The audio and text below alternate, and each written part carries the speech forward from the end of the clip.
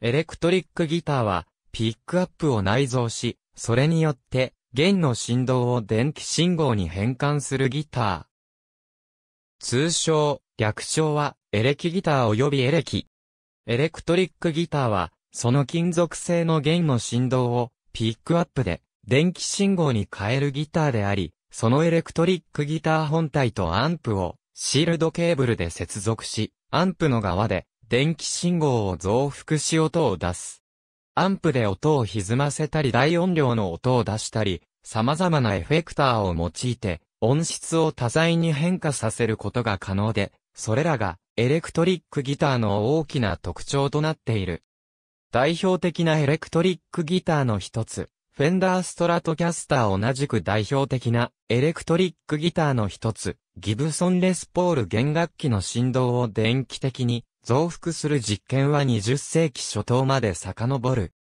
1910年代には、バイオリンとバンジョーの内部に電話の受信機を取り付け、音を増幅させる特許が出た。1920年代には、カーボンマイクロフォンを弦楽器のコマに取り付けて、音を増幅させる実験が行われた。1920年代から1930年代初頭にかけて数多くの人々が電気楽器の実験、制作を行っており、それぞれを最初のエレキギターの発明者とする様々な主張がある。最初期のエレキギターの発明は、電気的なピックアップと共鳴度を持つ、反電気的アコースティックギターであった。これは、タングステンのピックアップのついたスティール弦、アコースティックギターであった。最初の電気的に音を増幅するギターは、ジョージ・ビーチャムによって1931年に発明され、1932年にロー・パット・イン・コーポレーションによって商業生産された。1932年にリッケンバッカーが発売したラップスチール型のフライングパンと他社製ボディにピックアップを追加したエレクトリックスパニッシュギターも世界初のエレキギターとみなされることもある。その後1940年代にかけて、ホローボディのギブソン ES-150、ソリッドボディのビッグスビー、マールトラビスモデルなど、新しいモデルが次々と登場し、エレクトリックギターが広く、一般に認知された。1930年代から1940年代にかけて登場した様々なエレキギターについては、英語版の記事 Electric guitar history に詳しい。エレクトリックギターはアコースティックギターとは異なる形状、構造を持ち、専用のマイク、ピックアップを有しているため、アンプを介して出力される音色は、アコースティックギターとはかなり異なるものとなる。ピックアップは、エレクトリックギターの音色の大きな部分を決定する。ピックアップは、電磁誘導を利用して、音を拾っている。ピックアップには、永久磁石が内蔵されており、それによって生じる、磁界中で、鉄やニッケルなどの磁性体を含有する弦が、振動すると、ピックアップ内のコイルを通過する時速が変化し、弦の振動に、ほぼ相似した、交流電流が発生する。その電流は、導線等を通して、アンプに送られ、アンプによって、音として増幅され、スピーカーから、音として出力される。電磁誘導を利用するため、エレクトリックギターに、ナイロン等の非磁性金属製の弦は使用できない。また、ピエゾ素子のような物理的変形を電気信号に変換する素子を使ったピックアップもあるが、こちらも音響マイクロフォンと同様に、エレクトリックギターの範疇には含まないのが普通。ピックアップの種類は、以下の2つに大別できる。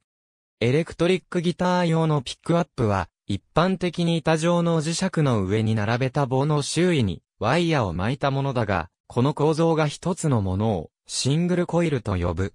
そのサウンドはカラッとした乾いたような音色が特徴である。対して、ハムバッカーは、シングルコイルを弦に対して平行、または直角に二つ並べて、コイルの極性を逆接続することで、商用交流電源による磁界の影響を打ち消して、ノイズに強い構造になっているが、肝心の弦の振動の信号も特に、高調波成分が打ち消し気味になり、太く温かいサウンドが持ち味となる。ハムとは、商用交流電流による、分というノイズのことである。ギブソンのモデルは、ハムバッカーが多く、フェンダーは、シングルコイルのモデルが多い。ハムバッキングのことを、ハンバッキングと書くこともある。電気信号の増幅方法は、以下の二つに分類される。ピックアップは、内部のコイルで音を、交流電流として取り出すわけだが、スピーカーから音として出力するには、この電流を増幅させる必要がある。この増幅作業の一切を、エフェクターやアンプなどのギターの外部に依存したピックアップを、パッシブと呼ぶ。対して、電池と微小信号用アンプを、ギター内に内蔵し信号を、ある程度増幅させてからアンプに送信するタイプのものをアクティブと呼び、コイルの関数が少なく済み、ノイズに強い。一般的に、エレクトリックギターではパッシブが主流で、アクティブ型は、鉄弦を使ったアコースティックギターに付加的に追加したピックアップに多い。また、一つのギターでパッシブとアクティブの切り替えも可能なものもある。一つのギターに複数のピックアップが搭載されている場合、ネック側から以下のように呼ばれる。複数のピックアップを持つギターでは、ボディのスイッチで演奏中にピックアップを切り替えたり、複数のピックアップを並列、または直列接続して混ぜた信号を取り出せるのが普通である。コンサートなどで演奏する際は、立って演奏する場合が多いが、その場合はギターを体に固定するためのストラップを用いる。ソリッドボディは詰まっている分重量があり、ストラップが外れてギターを落としやすいため、ストラップのロックをつけることも多い。エレクトリックギターは、ボディの構造で、おおむね以下の2種類に大別できる。ホローボディは、バイオリンのような中空構造であるのに対して、ソリッドボディは、ホローボディのような中空構造を持たない。エレクトリックギターの原型は、通常のギターにピックアップをつけたものであり、ソリッドボディギターの方が、歴史的には新しい。ヘッドの形状は、フェンダー系とギブソン系に大別される。